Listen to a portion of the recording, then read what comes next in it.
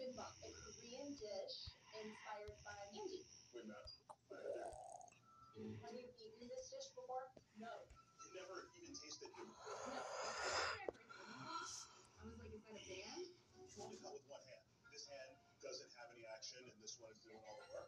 Like a machete.